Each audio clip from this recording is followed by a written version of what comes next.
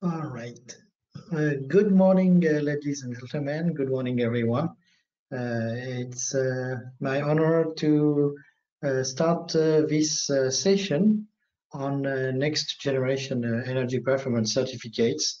so I will present you shortly the beginning of the program and the way we would like to work on on during this session uh, as you know, uh, uh, this project where has received funding from the European Union Horizon 2020 research.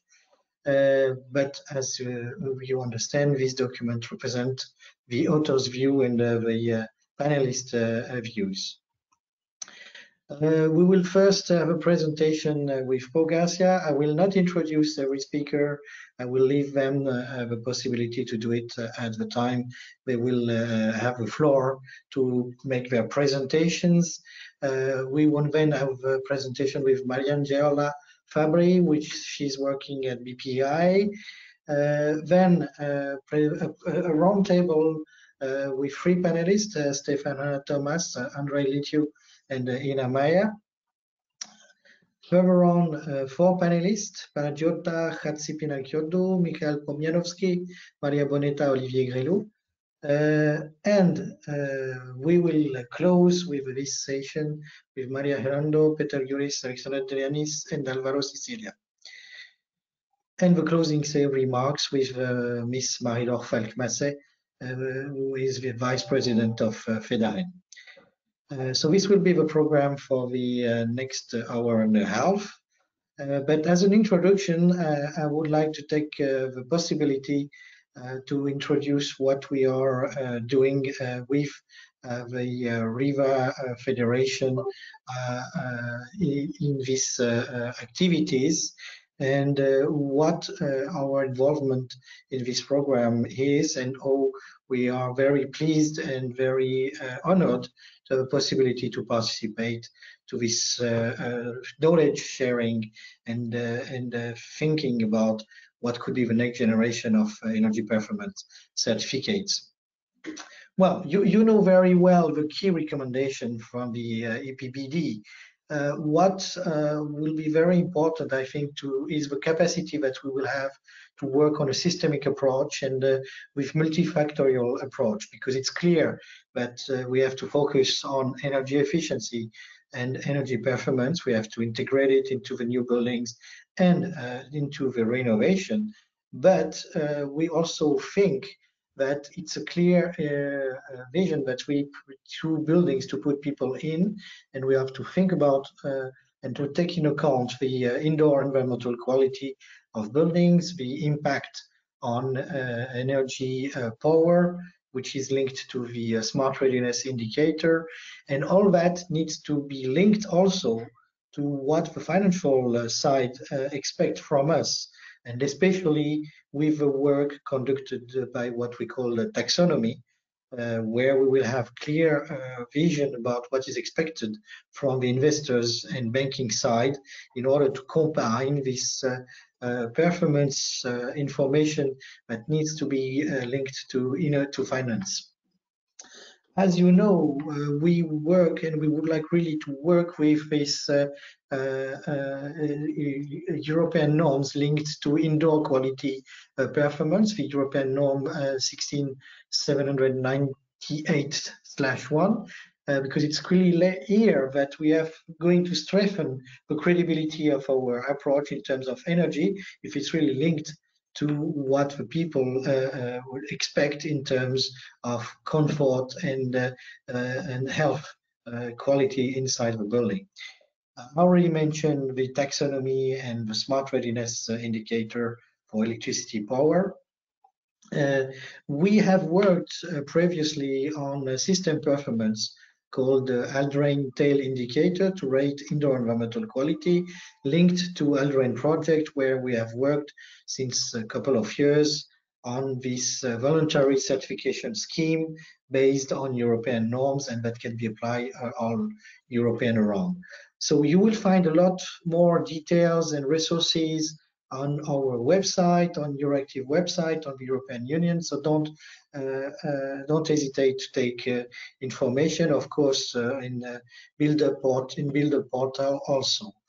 And you also will have a possibility, if you wish, to uh, link to this uh, REHVA Web's Knowledge Hub, where you will find a lot of work but, uh, about what I mentioned in terms of ALDREN tail indicators, ALDREN project, and the work we have done on smart readiness indicator. So I will uh, close here for the introduction and uh, the uh, how we see how we need to work with more people and linked everything in a, in a systematic way and with a holistic approach. And you, I will then give the floor to uh, Paul Garcia Audi. Uh, thank you very much, Paul, uh, to have accepted to be uh, one of our, our, panelists today. Uh, and you will give us uh, a first uh, presentation about what you are working on based on the EPBD revision linked to this package Fit for 55. Paul? Yes, I'm connecting. Well, connecting. I'm, I'm waiting for the screen to come up. Can you see my screen now? And can you see the presentation? We we see uh, we see your slide deck. Yeah. Okay, perfect. I'm I'm making it now full screen. If yeah, perfect. Yeah. Okay. Well, uh, first of all, thank you very much for inviting us uh, here today. It is um, there. These are busy times for us because we are working very hard on the um, on the revision of the EPBD. Uh, unfortunately, we are also at a moment where everything is under discussion, everything is under consideration, so we have to be very careful on how we communicate these.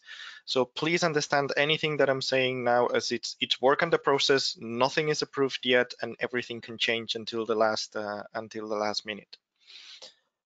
Uh, so please uh, bear in me, and I, I, wish in a way I could share more information, um, but unfortunately we have to play by the uh, by the rules.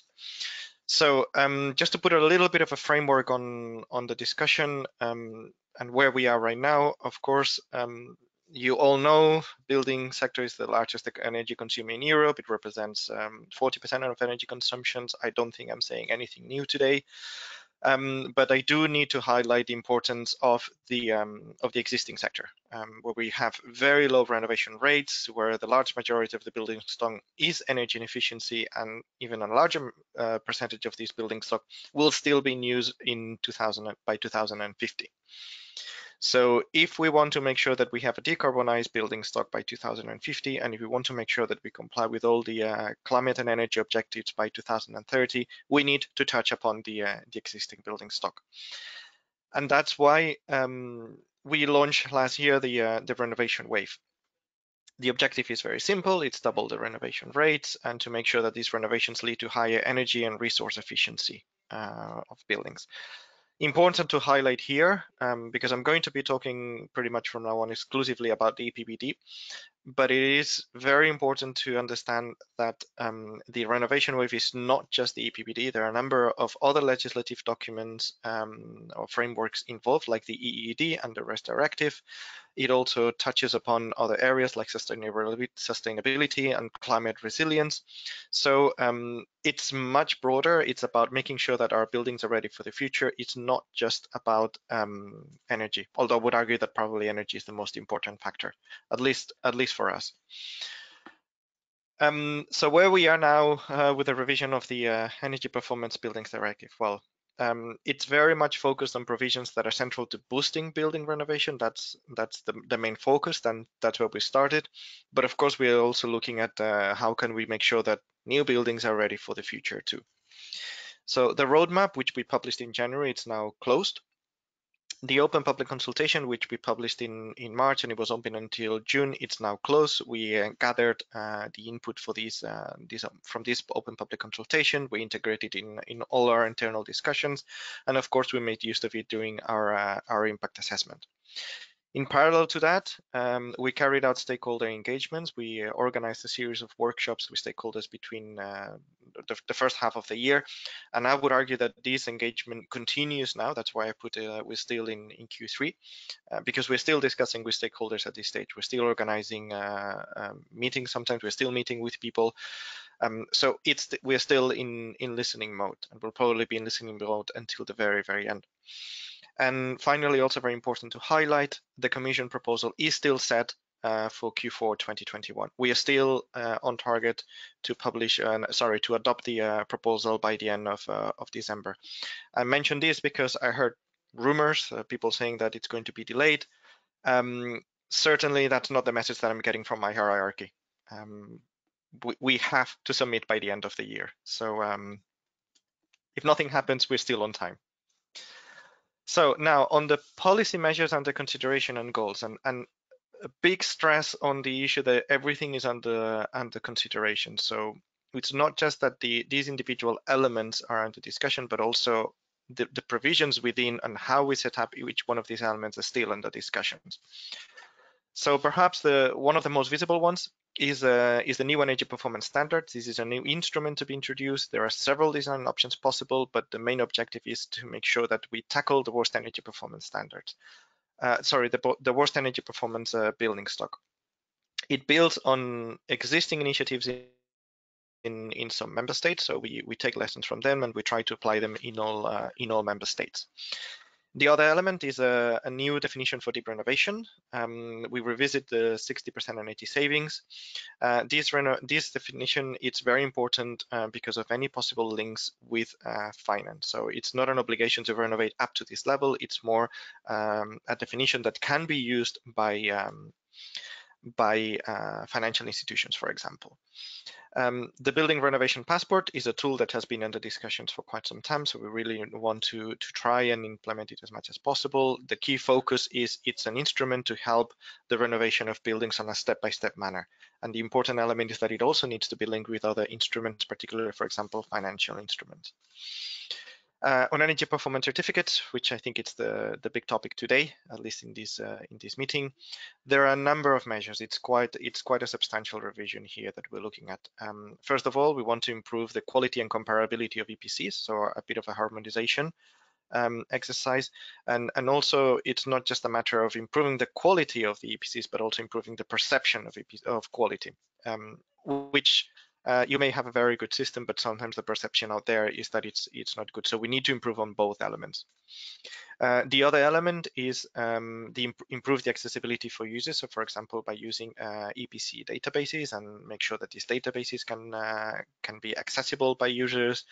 Um, and can publish uh, aggregated and, uh, and anonymized information about EPCs and then improve the information role of EPCs by enlarging the set of information provided. So not just the um, not just a purely indicator on, on energy performance, but also which other uh, elements, what other uh, indicators are very relevant for the uh, for the EPC and for people to encourage them and to give them ideas on how they can carry out the um, the renovations. On uh, decarbonization of buildings, we currently have um, nearly zero energy buildings, so we're looking on how can we strengthen these to make sure that we also take into account the, uh, the carbon element. Um, and we're also looking on how we can introduce greenhouse gases metrics in, in EPCs. Uh, on smart readiness indicator, we're looking on measures to accelerate the, the next steps and create particularly synergies with uh, with other tools. Um, at the moment, as you may know, we are on the testing phase of the SRI, so we want to make sure that this is as successful as possible.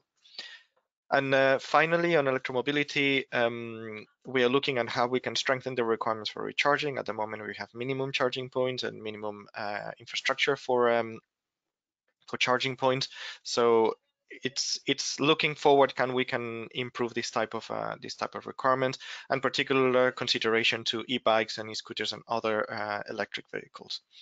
Uh, the overall goals is, of course, increase renovation uh, rate and depth. We want to enable the decarbonization of buildings, and we also need to accelerate the modernization of buildings and of their systems.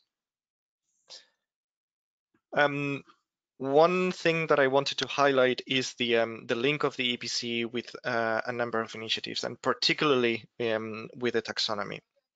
actually, if I just go back to the to the previous slide, um, I would like to point out that, for example, minimum energy performance standards that uses the EPC as an indicator, the deep renovation standards that would use the EPC or that could use the EPC as a as a means of measuring the improvement. The building renovations passports would need to be linked to the EPC. Of course, EPCs are linked with EPCs. Uh, and then, for example, also the smart readiness indicator could be very strongly linked to the EPC. So the EPC has a has a strong central uh, role in it, and that is also reflected in the different um, elements within the taxonomy. So as um, as you may know, um, the taxonomy um, sets uh, to define what is considered as a sustainable uh, investment. Um, it uses and it builds on uh, relevant EU legislation on buildings, particularly on the uh, on the EPBD. Um, but in practice, it also needs to be very flexible and provide alternatives when um, when a specific element is not present.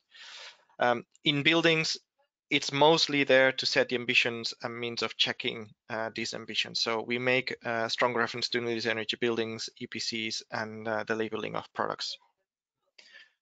Just to provide um, a few examples, sorry, I, I, went a bit too fast. Um, for example, new buildings need to be 10% better than NZEBs. That's checked with an EPC.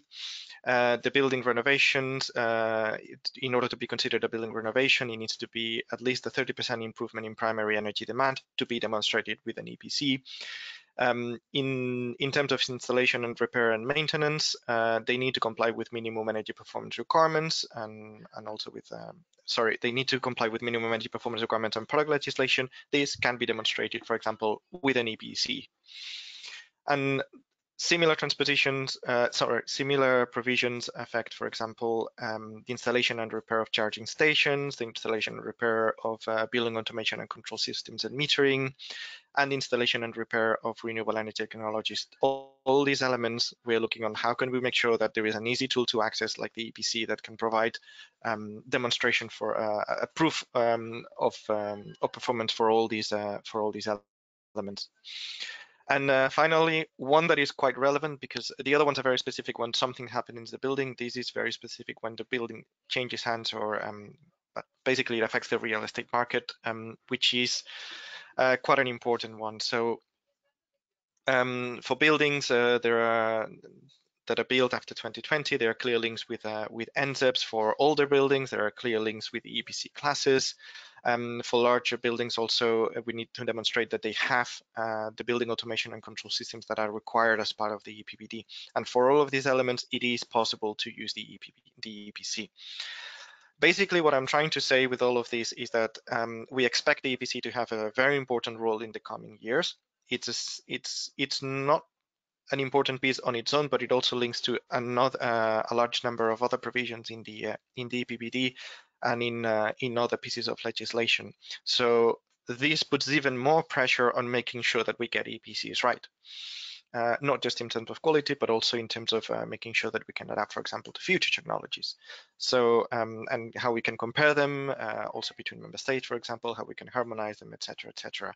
Um, so for that, I'm very interested to know um, about what's going to be discussed in today's uh, session, and I'm very much looking forward to uh, to hear what you have to say.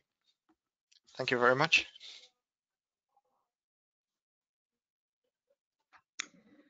Thank you very much, Pau, for your presentation. Uh, I think uh, we fully understand that uh, it's really uh, tough for you to uh, present uh, the state of the discussions. you are in the middle of a the middle of the work to present it, but thank you very much that that you gave us an overview of what is under construction now, and it's really important for us to have your vision and uh, I think it's important also to share a different visible vision from other stakeholders today. So a great thank you to you. And I give uh, the floor now to Mariangela Fabbri. Uh, she's the head of research from BPIE. And please, uh, Marianne Jolie, it's your turn. Thank you very much. Thank you very much. Let me just put the timer so that I use the 10 minutes that I have.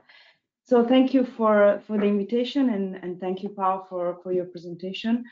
Um, I would also um, want to give you a bit of a, a, an overview of what BPIE uh, see uh, the role of, uh, of the energy performance certificates is in uh, not only in the revision of the EPBD, but in the overall um, role of buildings that buildings have uh, in the in the EU uh, in the EU target. So we know that by 2050, the building stock must be net zero energy and carbon over the whole life cycle.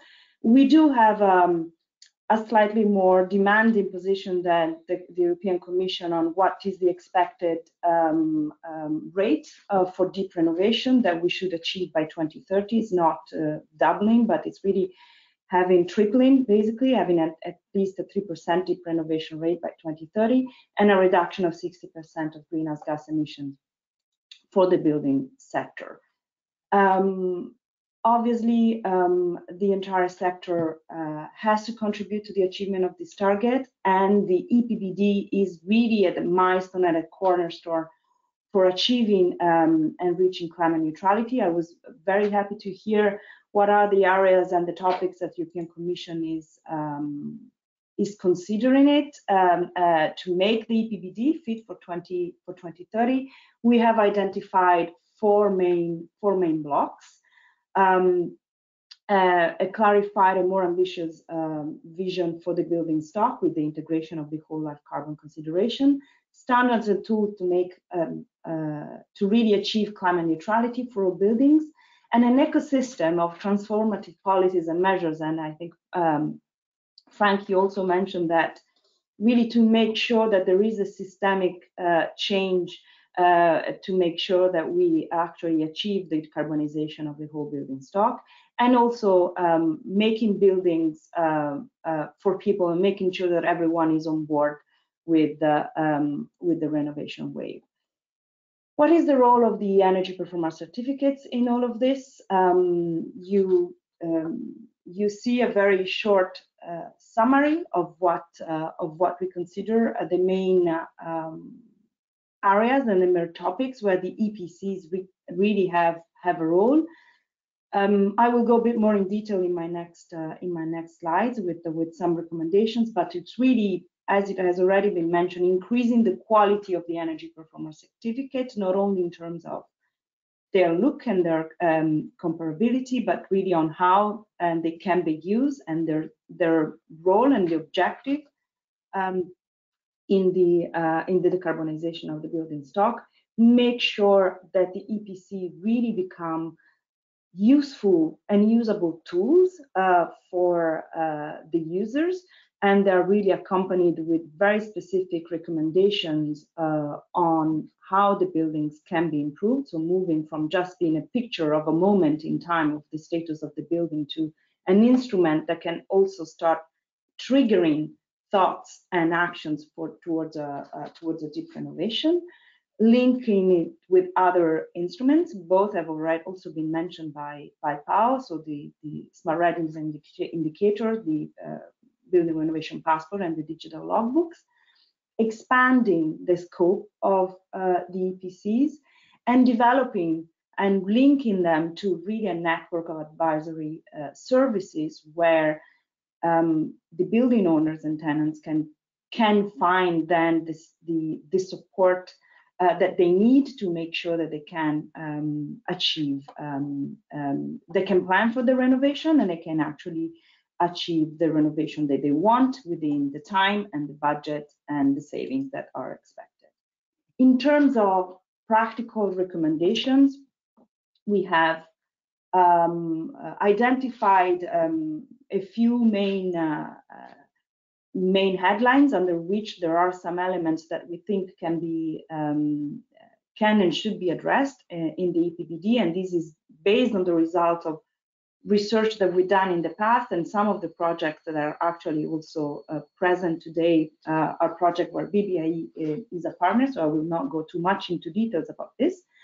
Um, but really the EPCs have this challenge need to fulfill new purposes and building to uh, to uh, other measures that will be introduced uh, um, in the future, be them uh, minimum performance standards, building renovation passport, logbooks or financing measures.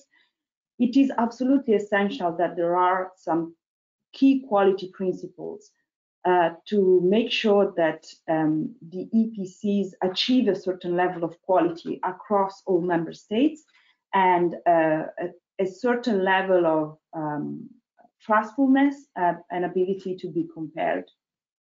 So because they are of different use for different for different people, we tend to think of the EPCs just useful for the end users like the owner and the tenant, but they also actually have many other potential users, including decision makers, including researchers, and it's important that they are um, lifted to that point. So there are four main um, headlines, the data gathering and managing, so really make the, the way uh, the data uh, is collected, stored, processed, shared, and accessed, um, making sure that there are easily um, easy to access databases in all member states and that there, the EPC database is connected with other existing databases that can be used for planning, renovation, and benchmarking. The methodology and indicators, really making sure that there is a clear harmonization and improvement on the calculation methodologies and had uh, addition of new indicators um, uh, like uh, measure performance or actually actual performance in, in indoor um, air quality or indoor environmental quality, for example, and quality checks of the methodologies and, and, and software. This is essential to make sure that that uh, trust in uh, in the instrument um, and also that perception of trust that Paul was mentioning before would be uh, would be addressed. The other two uh, uh, last point are the design and readability, so making sure that um, the EPCs uh, contain all this information, but in a way that is really readable and attractive uh, for the user, but also that secure the reliability and the quality and including in particular for the part that uh, pertain to specific recommendations for renovations and upgrade, which today where existing is quite general and not necessarily of easy comprehension and understanding for uh, for the building owners and the tenants. And the uh, the last point, uh, the last headline is about monitoring implementation um, it really covers uh, a number of, of elements, including how uh, the uh, EPCs are um, released, um, by whom. So uh, there's the need to make sure that there are skilled certifiers that actually um, deliver the EPCs, ideally based on uh, a performance assessed uh, on-site audit um, making sure that there are um, auditors that and certifiers that are properly trained and upskilled when it's necessary, that these training are updated when there are major changes, and also um, including uh, increased quality quality control, controls and stringent penalties for those who actually do not follow um, uh, the uh, the standards and they do not deliver um, quality or or or truthful uh, energy performance certificates. This is really just um, a short overview of all the different changes that uh, could be made to the EPCs, but I would um, actually leave the room to uh, to the panelists to make sure that um, they uh, have the opportunity to share with us how the project that they worked on and they're working on can contribute, are contributing to that debate and can contribute to, uh, to these debates. So I will switch my role now. I'm uh, from presenter to uh, panel uh, moderator. Um, thank you, Frank, for um, um, uh, moderating the first part of this um, of this debate. And uh, I do have one question, which is the same. It's the first round of questions for all the panelists. Um, I will call upon you uh, uh, to to reply, um, and um, and then I will have some uh, few follow-up um, questions. So the first question that I would like to ask every panelist is um, the following one: What is the most relevant contribution that your project, as you see it, is bringing to the, the conversation that we just had about the revision of the EPBD. Sorry, that was my timer. to make sure that the energy performance certificates really become an actionable instrument uh, for the deep renovation of the EU building stock. Um, my colleague Roberta will keep the timer. You, you do have uh, a couple of minutes each to answer this question. Please stick within time because we are numerous and we would want to make sure that then we have a number of follow-up questions. So I would start with uh, Stefan from uh, uh, Quality EPC and please switch on your camera. Thank you. Yes, thank you, Mariangela. Um, yeah, Stefan Thomas from the Wuppertal Institute. I'm coordinating the Quality EPC project, and uh, um, this project uh, especially focuses on uh, the link between uh, the usefulness of uh, EPCs and uh, deep renovation. Um, so yeah, um, I was uh, it was good to see, to hear from uh, Pau Garcia that uh, um, there will be a new standard for deep renovation. We had to invent one for ourselves. um, and um, our main contribution is on one hand um, a set of uh, uh, recommendations that are in line with uh, deep renovation. So in order to improve the renovations that are on the EPCs, and also we um, uh, propose uh, a revised uh, template um, for the uh, EPC itself, which is more user-friendly, um, has the, the main information uh, noted in a user-friendly way and has more information on uh, than it is, has currently in most countries, um, built on some best practice in, in our seven countries um, about um, the um, energy performance uh, level that can be achieved after implementing the set of recommendations um, um, and uh, a traffic light system that uh, classifies the efficiency of components both in the current stand, uh, status of the building uh, and uh, for the, the, renovation recommendations which, which normally should be green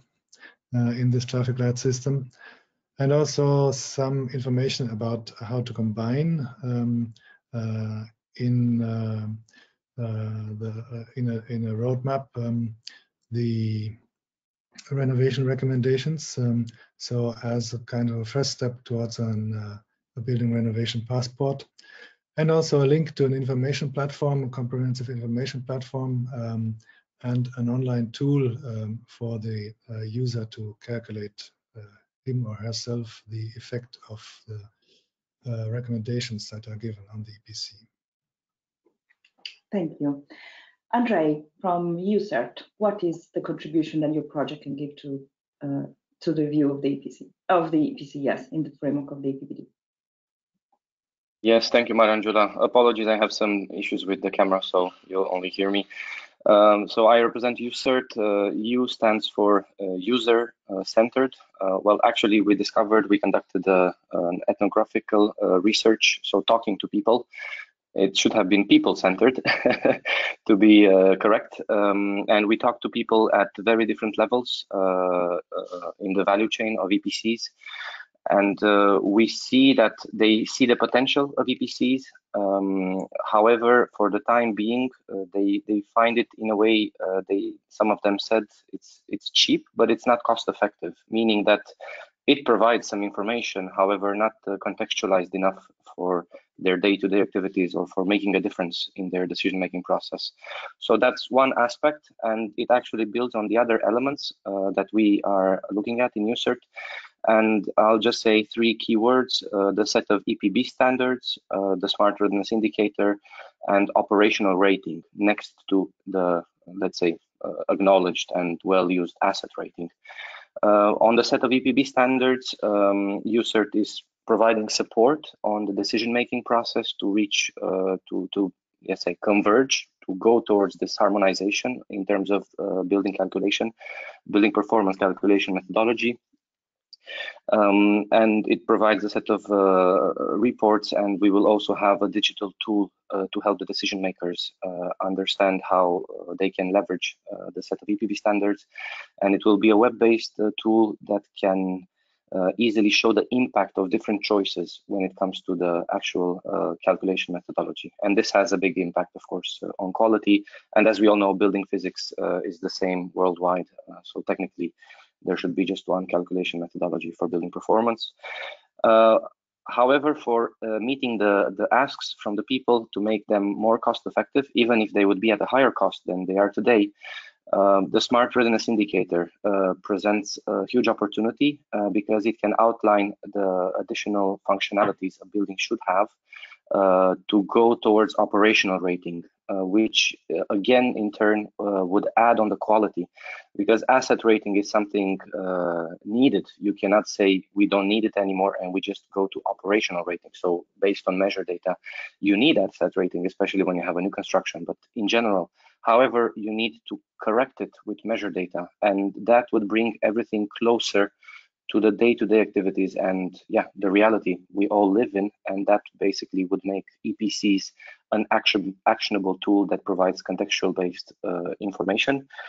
And also for these elements, uh, we are preparing uh, additional digital tools uh, uh, via web browser accessible where the different, uh, let's say, people that could access this information, being the tenants, owners, uh, researchers, financial institutions, policymakers, could actually see what's happening on the ground. Uh, and of course, you could still keep the same uh, approach once in a while. You have like a snapshot, like the EPCs you have today.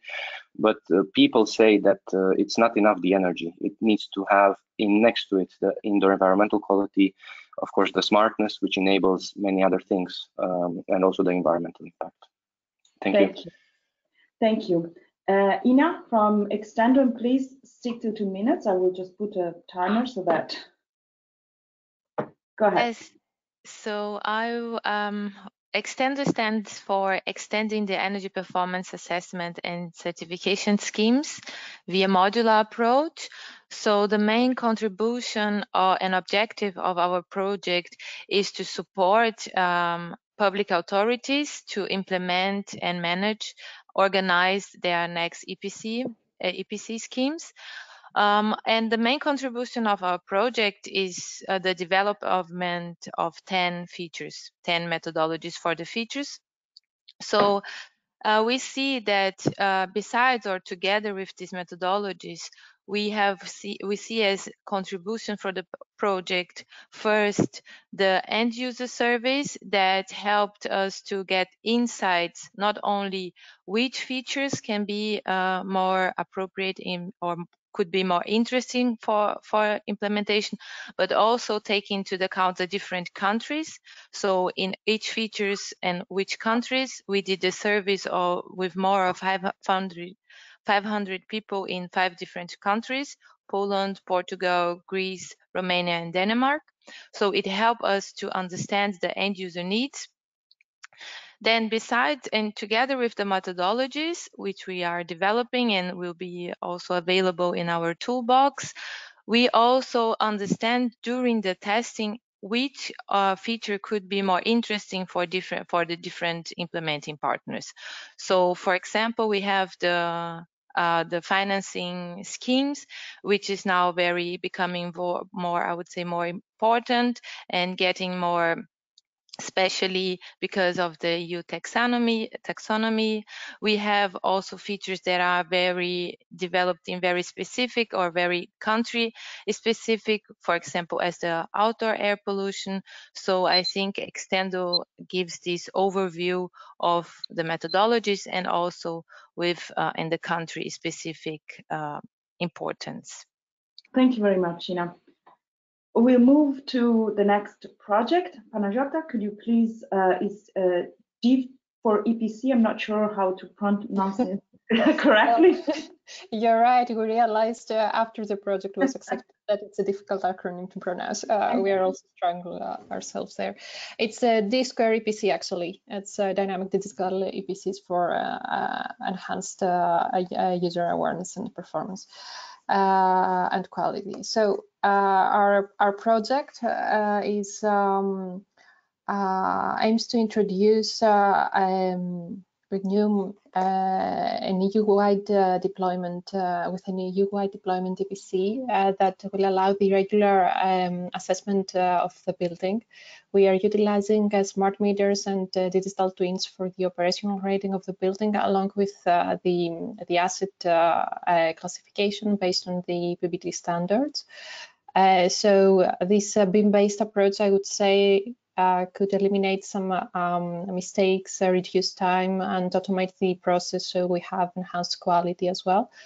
Uh, and um, uh, one other aspect of uh, D2EPC is the provision of additional indicators. We have a multi-parameter assessment that uh, includes aspects relevant to smart readiness indicator, uh, human comfort and well-being, um, sustainability and uh, financial also indicators. Uh, all of these uh, new aspects uh, give a better understanding of the uh, of the performance uh, of the building to end users and um, we also want to extend our applications from the certification to additional services like using AI tools um, we have the provision of uh, recommendations uh, for uh, customized recommendations for performance upgrades. Uh, we have the provision of uh, forecasting for optimizing the building use uh, according to the needs of the building user. And also another tool for um, alerting and notifying the user um, whether his performance may influence the the performance of the building uh, and uh, could um, could end up to a performance downgrade of the of the EPC. Um, our EPCs will also have. Um, stop you there because your your time is up. But I, I thought I had a timer also. I was hear the ring. I will have a I will have a follow up question for you. I see some um, some commonalities across different projects that are looking at, at different things. So I think we are all uh, looking at the same uh, at the same direction. I wanted now to give uh, to give the opportunity to to Maria from ePANACEA. Thank you. To, uh, thank you very much. To just let us know, to tell us what what does the project, um, what is its most essential contribution to the debate on the EPC uh, in, in, in the basis of what we, we just heard this morning. Thank you. Okay, thank you, uh, Maria. Uh, well, uh, uh, aims to overcome the current EPC challenges as uh, the rest of sister projects, of course, uh, of course, but uh, with a special focus on the performance gap between calculated and actual consumption patterns, incorporation of user dimension of end users and so on, and improvement of clarity of the information provided by the EPC. With this uh, main objective, uh, ePANACEA uh, develops uh, an innovative, uh, holistic and flexible methodology uh, based on three different energy assessment methods and its decision matrix, covering technical building innovations and the use of actual building data for energy model modeling. the whole ePANACEA methodology will be integrated on an online platform so-called the SEPAP, Smart Energy Performance Assessment Platform. And uh, this platform will integrate uh, inverse modeling and automated calibration procedures for dynamic uh, building energy simulation, obtaining very accurate models, but uh, reducing at the same time the computational cost and improving the cost effectiveness of the whole process. So, in my view, the most relevant contributions of ePANACEA uh, to the ongoing EPBD revision is on one hand the digitalization of the EPC through the SEPAP that at the same time uh, provides a common and digital framework for integration of other instruments, taking advantage of uh, synergy and complementary uh, from them. And on the other side, uh, calibrated and dynamic models uh, that reduce the performance gap uh, allow more accurate energy assessment of energy efficiency measures, of course, with the improvement uh, of the market trust on the EPC regarding this issue. What, in my point, is a key aspect no, for supporting the deep renovation of the current uh, building stock. Thank, Thank you. you very much, Maria. Perfect timing. So I now ask the same question to Olivier from EPC Recast. Good morning, and thank you for giving me the, the floor. So I'm Olivier Greslou from CSTB and coordinator of the EPC project. So the key objective of the project is to improve the reliability and quality of existing and next generation EPCs. So the, the core of the project is to define a harmonized European protocol that is practical and that is aimed at EPC assessors to improve their working practices, their daily practices, and facilitate their work uh, on field. So this protocol uh, is developed on the methodological side and then it's implemented in a digital toolbox with a set of digital services. It's uh, done in three steps. So the first step is to improve the data collection to better characterize uh, the building on site with uh, uh, services like a digital scan of the of the building geometry and also connecting with uh, databases and with smart meters to infer information that can be used afterwards to calibrate the energy model. So the second step is to better calibrate the, the energy model of the EPC. We are doing that for several national calculation methods. We are not proposing a new calculation method uh, at EU scale. Uh, and then we are going to use this calibrated model to define some renovation scenarios for the building and provide all the information in a revised EPC template that can display in a user-friendly way the information to, to, building owners. So this building template uh, is based on the template we developed in the ALDREN project. Uh, EPC Recast focuses on the residential sector and we are trying to better integrate uh, information from the SRI to to show how the controls of the building can be improved through also renovation and improvement actions. Also IEQ information so that this EPC certificate could be used for funding uh, renovation projects. Perfect. Thank you very much. Um, I now pass the floor to uh, Maria from CrossCert. Hello, good morning to everyone. Uh, Maria Herrando from University of Zaragoza. We are coordinating crossCert project. As the name says, uh, my contribution is cross-testing. So we aim to provide a cross-product uh, product testing methodology for the new EPC approaches that will result in improved accuracy and usability of uh, EPCs, people-centered designs, and also increased homogeneity uh, across Europe. We will perform this cross-testing exercise on more than 140 buildings distributed, distributed in 10 different uh, countries using both current EPC approaches as well as uh, new EPC approaches that are proposed by the current projects.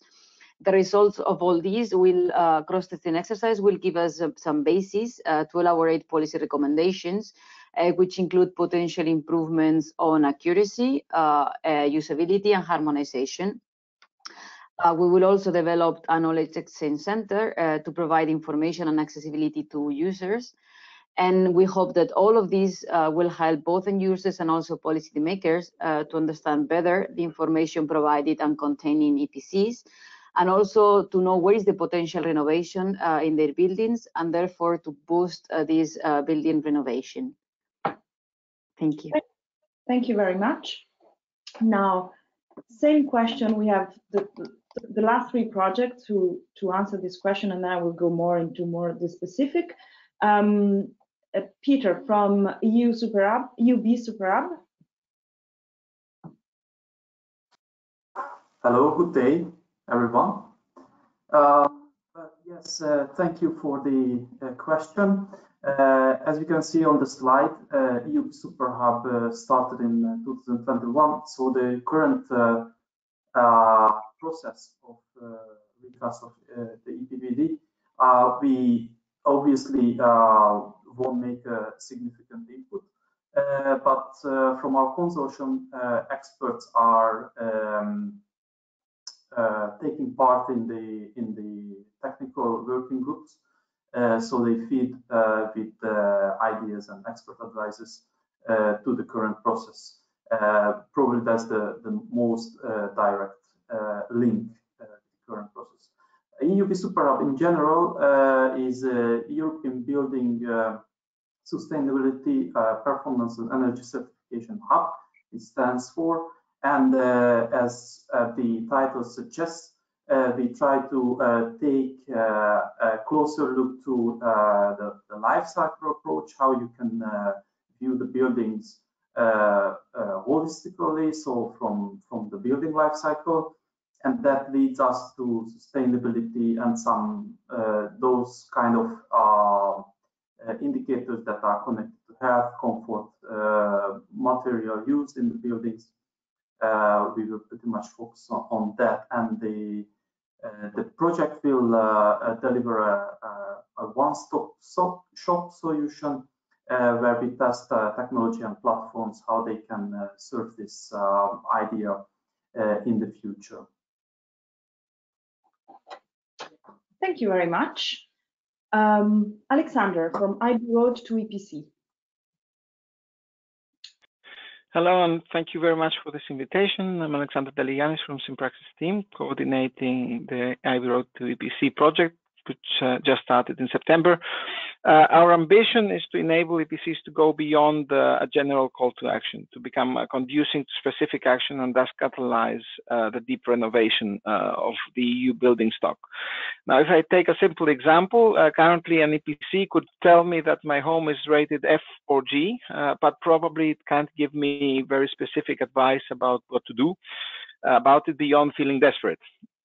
So such guidance is badly needed and it needs to be provided along with the rating information. Uh, when you are navigating with a car, for example, you would use the same map to identify your position, uh, where you want to go, uh, then chart uh, your, your way and track your itinerary.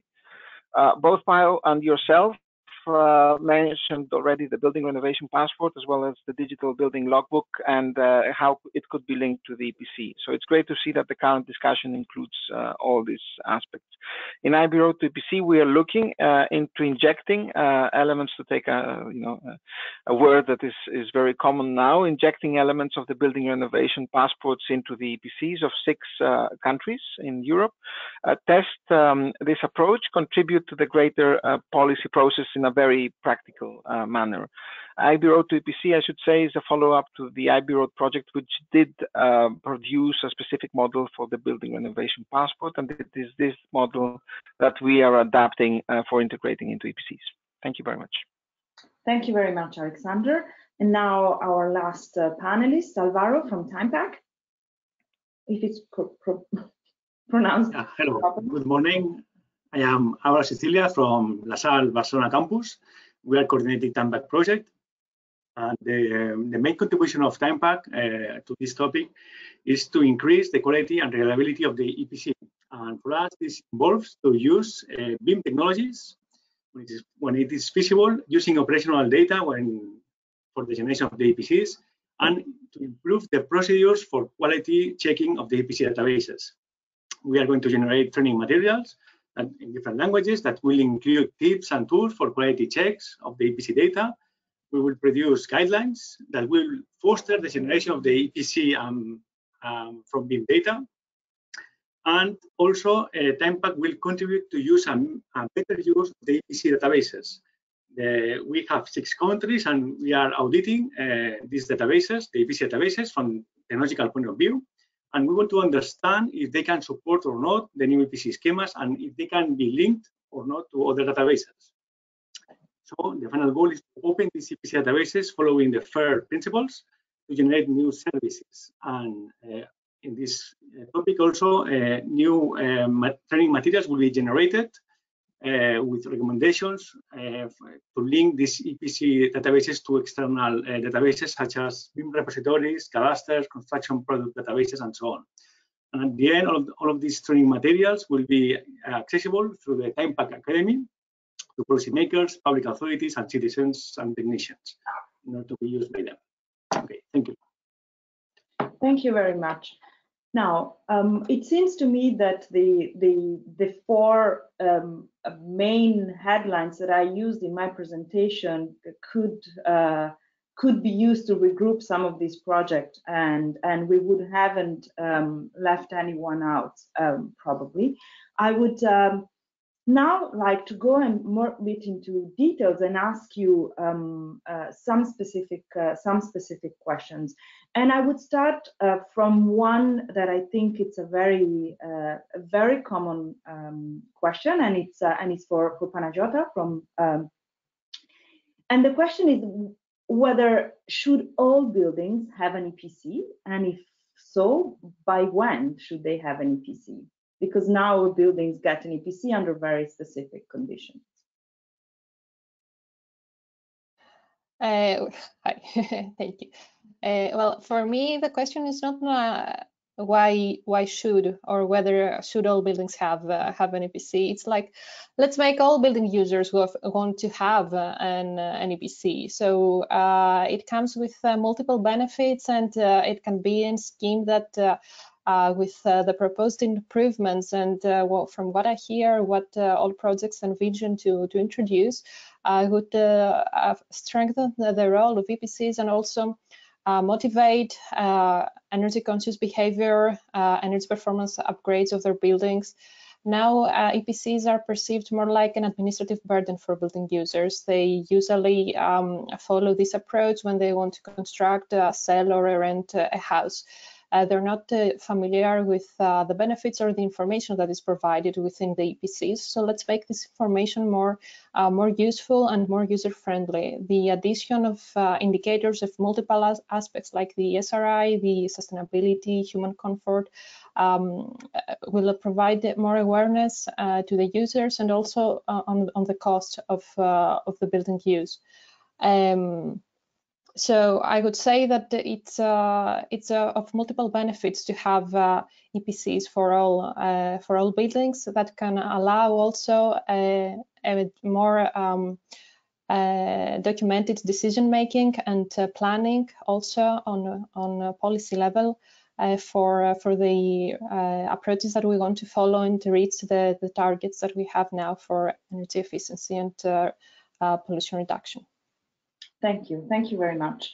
Now, um, I when I think about you know uh, um, what you just said, or making sure that people want uh, an EPC, um, uh, the question is how can we make it, and um, how can certain instruments uh, can contribute to that? I'm thinking in particular to, to the building uh, um, renovation passport and what could be the relations between the EPC and the building renovation passport. And this question is for, for Alexander from IBROTO's EPC and, and for, for, Tem, uh, for Stefan uh, Thomas.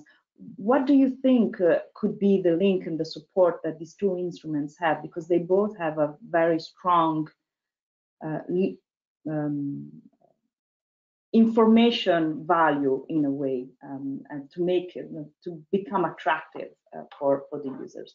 Maybe stefan if you want to start? Um, thank you. Um, uh, indeed um, they are both information uh, instruments. Um, the uh, building renovation passport uh, as the name says uh, has its focus on the renovation. Whereas the epc as uh, mixed purposes. Um, uh, it was always also meant to create awareness about uh, the energy consumption of buildings and to, to make people value the, the energy efficiency. Um, but um, it needs improvement, um, and this is what, what we are working on in QualDeEPC, um, to make it really also useful as an information tool to, to uh, stimulate uh, energy efficient renovation. Um, and so um, I see links in two aspects, which is uh, both the process of creating the data for a building and especially the uh, recommendations and the quality of the recommendations that should uh, lead to deeper innovation, which is often not the case in current EPCs. Um, and um, uh, then also, yeah, in the presentation of the data in, in both the documents and um, yeah, if uh, we really give climate change and uh, deep renovation energy efficiency priority, um, my suggestion would be that rather every building should have a building renovation passport and uh, as soon as possible, if not by, uh, or at least uh, say every building that was built before, um, at least uh, low energy buildings were the, the standard for new builds um, in, in the different member states. So um, if not by 2025, then uh, a few years later, all, the, all of these older buildings should have such a building renovation passport. Um, and this should also be subsidized. For instance, in Germany, you get 80% of subsidy for such a, a, passport. and it should be taken um, as the opportunity to create the, the high quality buildings data and, uh, and rec recommendations, which then can be used um, if also stored in, in, a, in a database um, uh, to create an EPC whenever an EPC is needed uh, for the, the building transitions, uh, transactions uh, like uh, selling and renting. Um, and this EPC should then also, of course, have the information, at least the most important information about potential improvements in energy efficiency and which rating could be achieved after implementing these. And yeah, on cost effectiveness, for instance. So this this would also overcome the, the problem of ensuring the EPC quality uh, when at the same time the EPC shouldn't cost so much uh, money in my view. Thank you, Alexander. What do you, what is your view? Um, do you share what Stefan? First of all, I, I fully share what what uh, Stefan said, and um, and I would build on it uh, in terms of um, of uh, first of all the both uh, the EPC and the building renovation passport being an information instruments and that information has to be reliable otherwise it's not really information it's misinformation. So the quality of the epcs uh, having for all buildings to have an epc would would be easy when we have uh, some epcs costing 25 euros in europe uh, but that's not what we want. We want something which is conducive to action and actually helps the the building owner um, in this sense, uh, if, if, I take another example, cars for the moment, we are discussing, uh, you know, Euro 4, uh, no longer should be in, in European cities, Euro 5 possibly soon. Uh, why? Because there is there is a constant improvement and I need a need to to ensure quality of life. In buildings, it's not so easy. It's not uh, you cannot retire buildings so easily because there are people living in there. So we have to improve them. In this respect, uh, the EPC tells us about statically that you know this is the situation, the energy situation your building is not so good there has to be there uh, information conducive to action. There are already what are called customized recommendations in EPCs in several European countries. However, this should be much more specific, and the Building Renovation Passport is what supplies uh, this information. So there's a very good opportunity to bring them uh, two together. Interestingly, the EPCs are also uh, sources of information because when we have reliable EPCs, and ideally reliable building renovation passport, that, is, that information can be fed into the databases that um, Stefan said. And at the policy level, uh, guide us by providing benchmarks and saying, okay, where can we aim? Is where are the low-hanging fruit? What can, can we achieve reasonably? And there to push the financing in such ways that we can have uh, the best uh, possible synergies. Thank you very much, Alexander.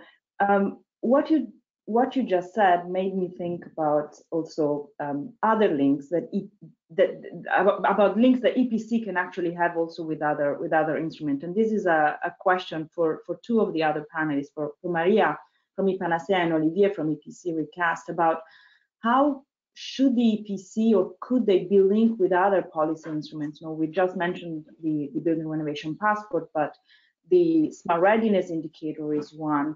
Uh, minimum energy performance standards could be another one. Have you um, explored this in, in your project, or is this something that uh, you think is feasible? Maria? Uh, yes, thank you. Uh, thank you, Mariola, for, for the, the question. Uh, okay, first of all, uh, mm, as a common framework, I think uh, that it is recommended that all these instruments are accessible through a common digital tool like for instance, no, the CEPAP, the online platform under development by ePANACEA project. But uh, indeed, the digitalization of information through the use of common databases, uh, easily accessible through web platforms, uh, that also allow implementing different assessment is a key aspect to build a link between all these policy instruments. Then we could establish a common use of data sources for all of them, but ensuring also a common data format for information exchange between different platforms. Besides uh, going deeply to each instrument, uh, there are also uh, some specific technical aspects that should be uh, explored. For example, you know, EPC and SRI could support each other uh, in several aspects. For instance, Uh, the catalog of services in the context of SRI can support recommendations based on building automation and control systems uh, whose energy saving could be quantified through the energy assessment carried out by the EPC. Also, the use of the energy balance from the EPC could improve current default values within the SRI calculation. For example, uh, customizing weighting factors according to the climate zone and the building use. And uh, also future SRI developments could explore the link between the SRI score obtained and a quantitative uh, value for building uh, energy saving quantification. Um, besides, as a last comment from my side regarding this question, for the case of the building renovation passport, the renovation roadmap and each renovation step defined on it uh, should be linked to the EPC rating system uh, in order to support, of course, no, the process uh, with an objective and quantitative instrument. More or less, this is my view. Thank you very much, Maria. Olivier, what is your take on this? Yes, I fully agree with what Maria said, and especially with this topic of um, data format to ensure interoperability between the tools. Maybe the first thing I would like to share is that we are facing uh, the issue of having several layers of information about a building, where we want to have a minimum but sufficient set of information to inform decision making. So maybe first we have a kind of data framework, which uh, is the PBD and levels and in one way. But then what we need to do is to define harmonized data structures to organize these layers of details and of information to ensure uh, consistency and interoperability between the tools. This is why I think we maybe should work on defining minimum interoperability standards that could be done in a functional uh, way in the first place. Uh, what is the information you want to find in these different tools, but then also from a digital point of view in terms of uh, digital standards to ensure the tools can work one with the other. Hence the idea of, I think, data format for input and output files for these tools. Then I think we are we have a kind of data iceberg for the building uh, and so uh, what is the tip of the iceberg is the EPC and the renovation passport. So the very tip of the tip of the iceberg is the EPC and it's a picture snapshot at one time and then the passport provides a little more information dynamically through time uh, about the building.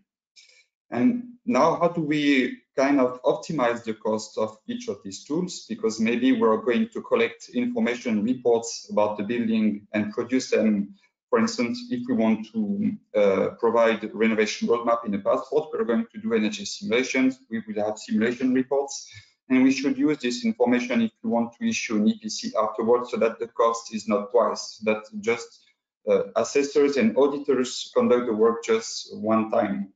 So there is really a, a, need to study better the cost of each of these tools and to try to uh, optimize this cost and share this cost between the different tools by better managing information, reports, data in a single place.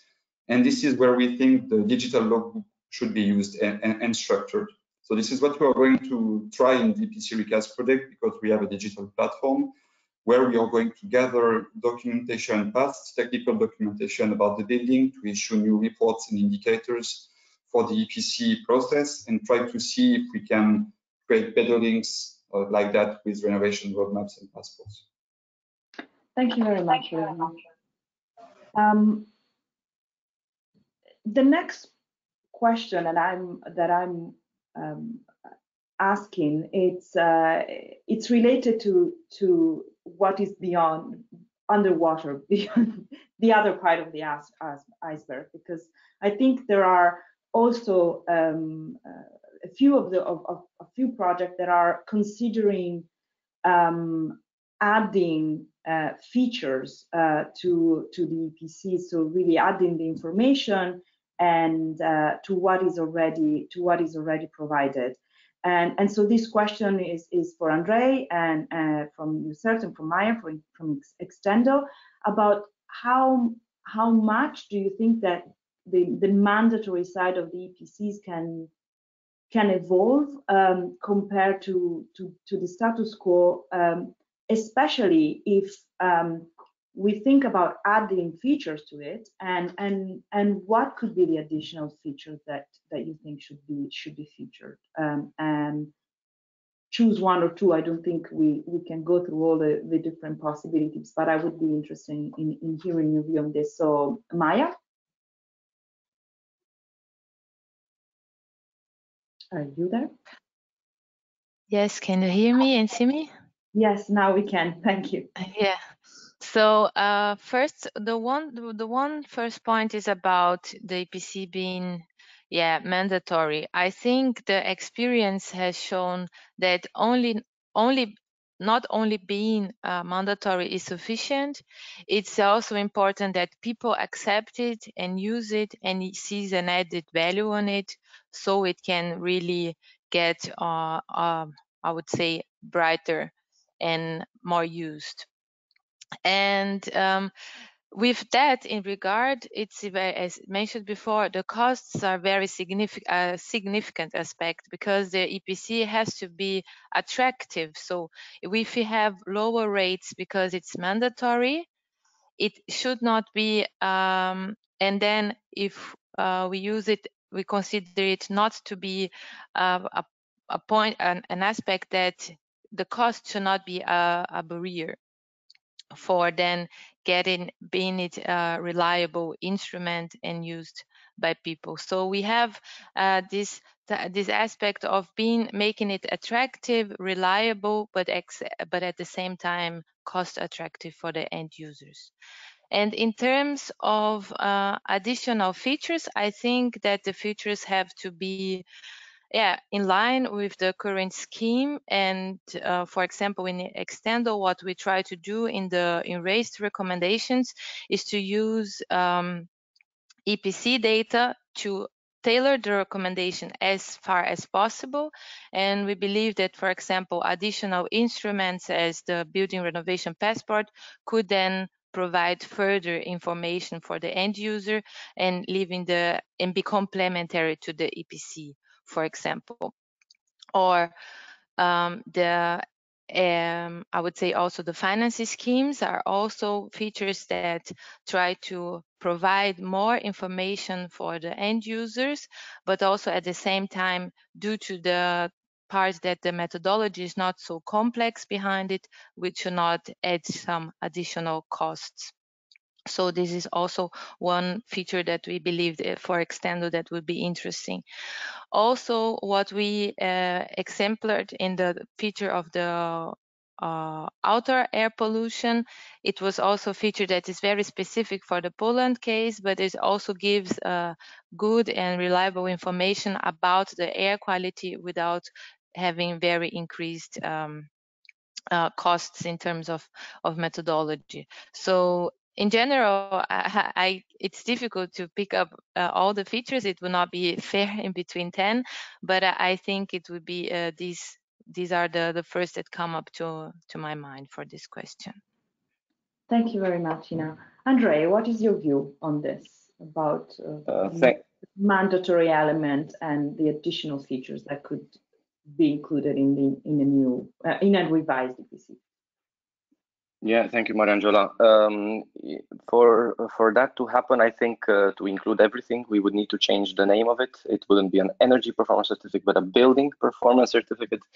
And uh, we've seen in U-CERT, uh, most of the people are even willing, as I said before, to pay more uh, to have an EPC that's relevant for their day-to-day -day activities. So this is also linked to what pa Panagiota said, that uh, it shouldn't be imposed, it should be sought for.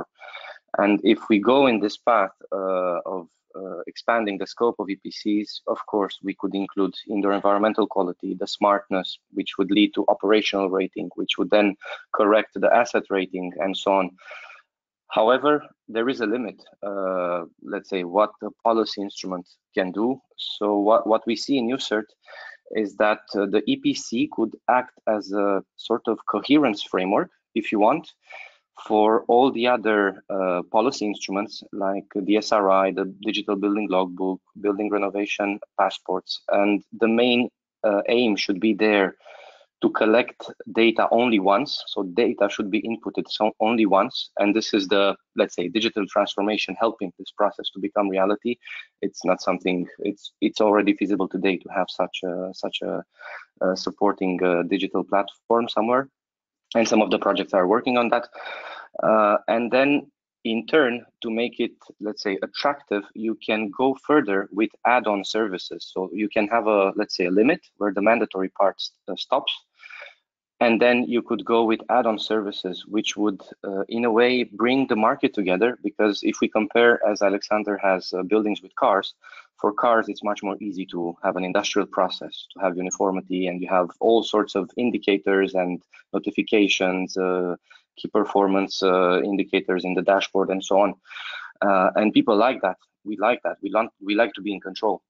So uh, if we go in this direction for buildings as well, uh, the EPCs could act as this coherence framework uh, to align the services on the market uh, to meet the diversity of the existing building stock. Because for new buildings, let's say it's not such a big challenge, but for the existing stock, it's really rich uh, in terms of uh, differences, which is good, of course, but it's harder to align. So if you have this coherence framework, that could make it easier and uh, uh, lastly, this uh, coherence framework could also, let's say, step up the ambition of everything that can bring into reality all these additional features. Um, because people would access it easier and they would want it and basically it would become a life experience an ongoing process not just a snapshot you could have still the mandatory part which is at different moments uh, but the really added value, these add-on services would bring value continuously. And that would link building performance to practice.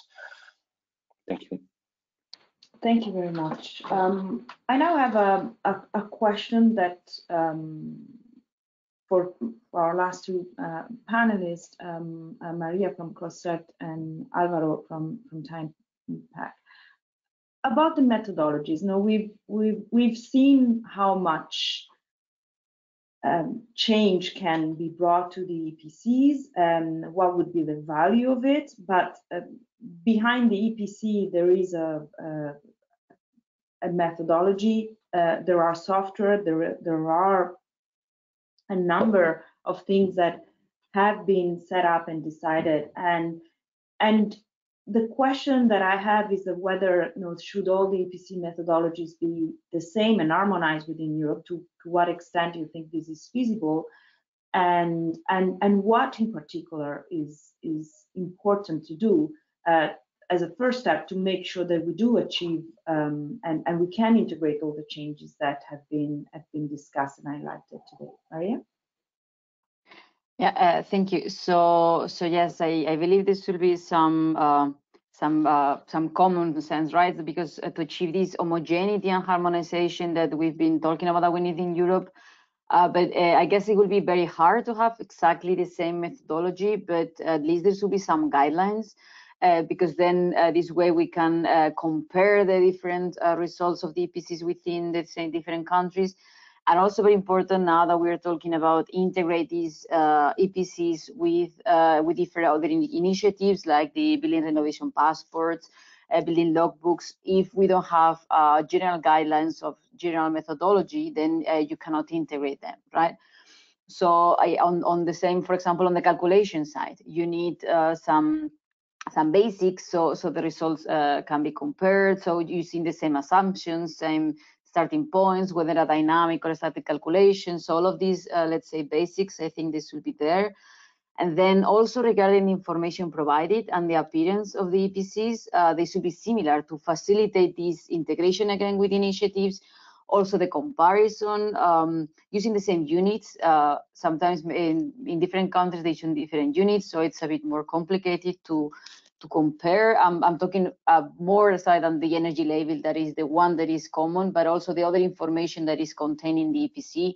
I believe that in different countries it's different. So I think we have we need some harmonization uh, in there. Thank you very much. Alvaro. Yeah, I, I fully agree with Maria. This harmonization, we need it, but it will be very difficult. And um, we assume that uh, we have to assume that every EPC schema, the national EPC schemas, has its own data structure, calculation methods, and also they use, they use the same concepts, the same terms, but they have different meanings. So this heterogeneity has to be addressed, and we think that can be addressed with standard tools and methodologies. And in this context, semantic web technologies has been proven successfully to in other domains to capture a knowledge expert and also to, to foster or to improve the data integration process. And, and here we can see that we can have a data integration process. So um, in, in TIMEPAC project, uh, we are going to generate an EPC ontology that all national or most of the national EPC schemas can be translated or linked into this ontology. So the core elements, as Maria said, the indicators, all the how the um, the, the EPC is uh, shown to the end user, the calculation uh, methodologies behind should be harmonized using this ontology. And in the cases that there are elements that cannot be harmonized, then at least we will bring or we should provide uh, transformation procedures in order to be comparable among uh, member states. Okay, thank you.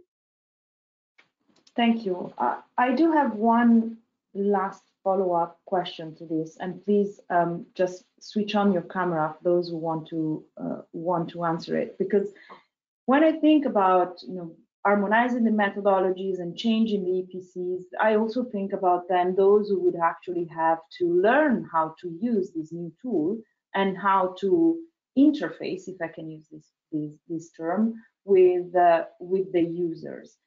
And uh, we know now that in member states there are different ways in which uh, EPCs are delivered, that by different people with different um, certification that might be required or specific um, training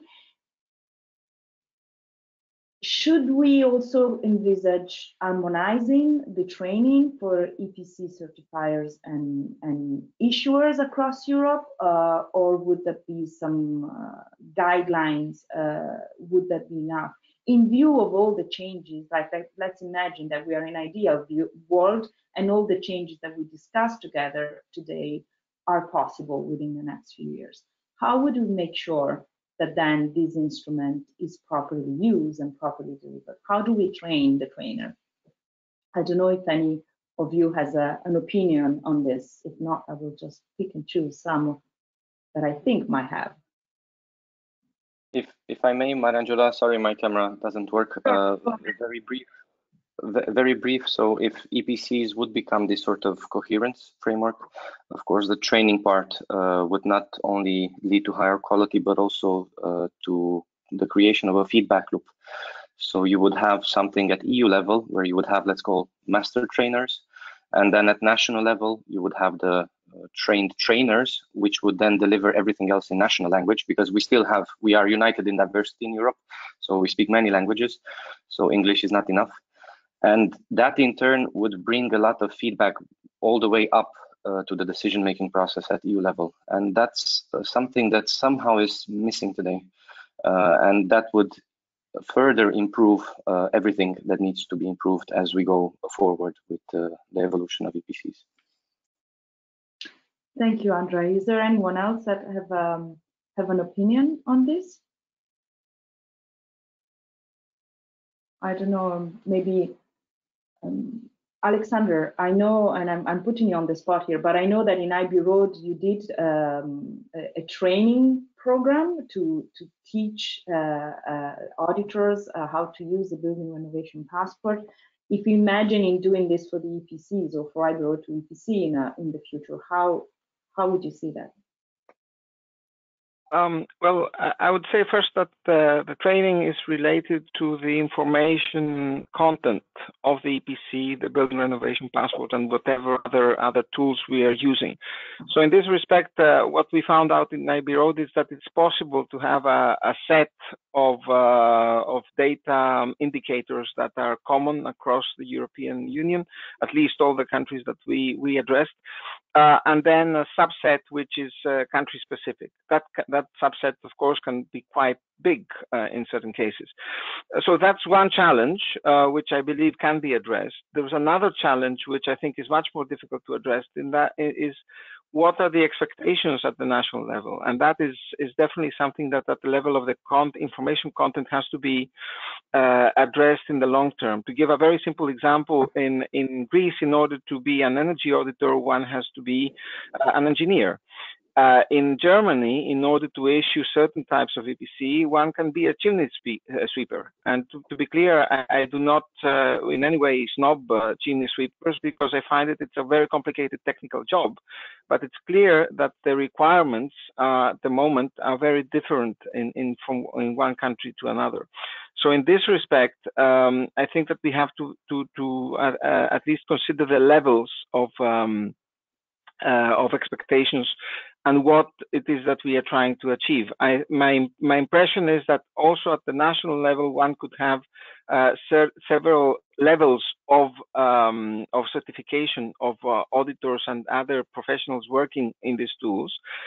Uh, for example, to be able to issue the, the, the energy rating part, one thing, but to able to be able to plan a long-term plan uh, as in a building renovation passport, a, a renovation roadmap which has specific uh, steps and um, be able to avoid lock-in uh, the lock-in effect when implementing uh, the various steps of the renovation along a long period of time, that would probably require uh, additional skills and uh, additional training and background for one to, to be able to do it.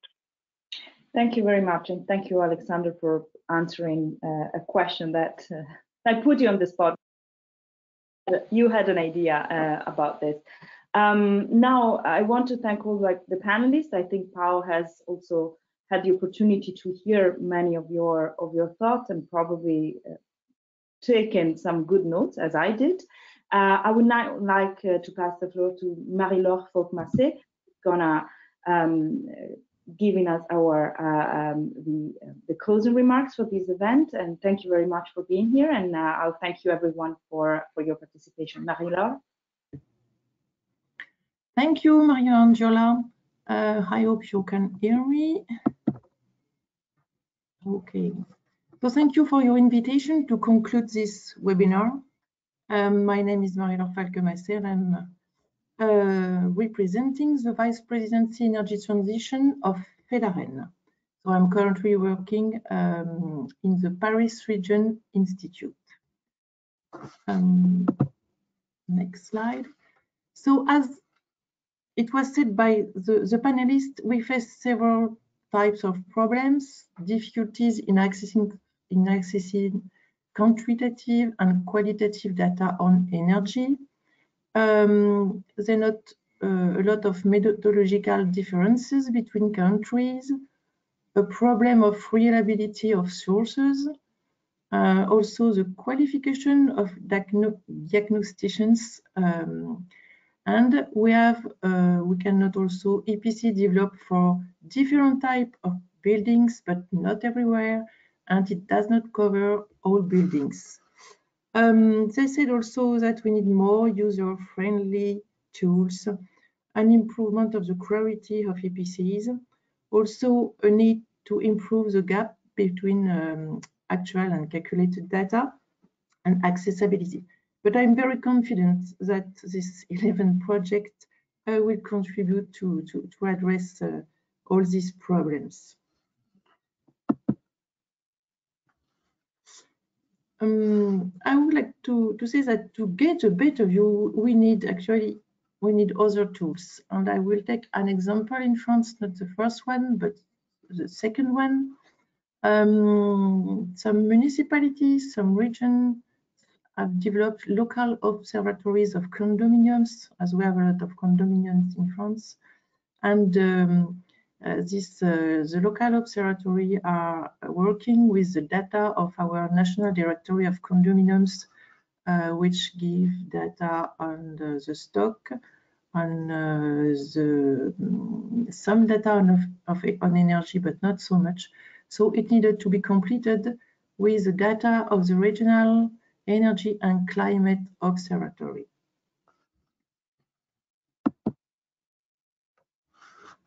So I would like to, to encourage you to, to develop energy and climate observatories uh, which support energy transition by providing supporting uh, decision support tools.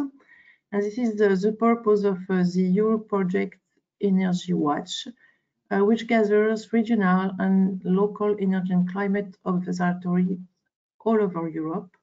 So the project aims at training local authorities and local stakeholders for the creation of observatories with several axes, collection of data, design, implementation, monitoring, assessment and data, all these issues uh, have been raised uh, by, the, by the panelists before.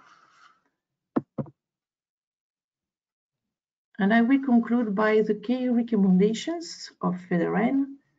Um, encourage national authorities to support regional energy observatories to improve the monitoring of energy data, facilitate access to local energy data, and also the access to the data on the building stock.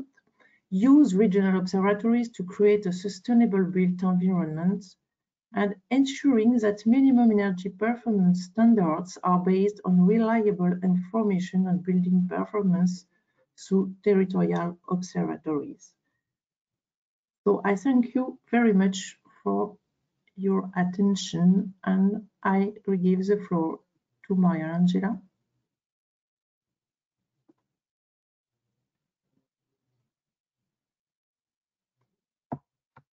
Thank you very much, Manuel. Thank you, everyone. This is uh, this closes our our webinar. Thank you for your attention. I think um, participants will receive uh, the uh, the PowerPoints. And if you have any questions, don't hesitate to reach out to uh, to them, and we'll try to answer it the best of our uh, possibility. Thank you. Have a good lunch, and uh, I'll see you in the next webinar.